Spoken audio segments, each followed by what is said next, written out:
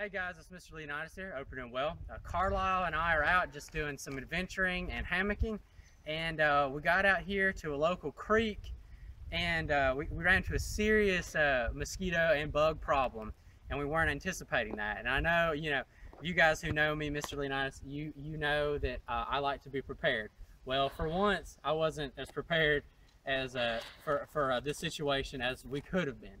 So we were a little disappointed with that one of my kits I had insect sting relief, but no repellent. So uh, I did a video a while back about using mud for uh, like a sunscreen and sunblock. Um, actually ended up taking that one down. So I just wanted to kind of give an update on using mud. Is uh, I was about at my wits end because it, it was really bad. This is probably the worst uh, bug issue we ran into.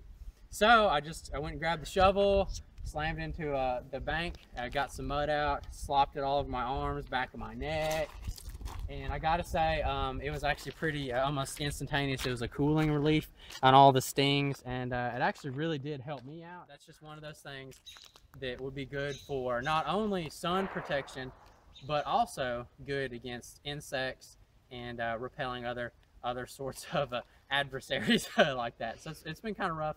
Um, just trying to keep it together here but the mud all in all, uh, definitely really helped me out. Uh, they're still getting other areas that are not covered, like they're biting my forehead. Thank you so much for joining uh, another video. And if you, you like the video, give me thumbs up. If you uh, comment, please put one. And if you haven't subscribed, please do that as well. Thank you so much.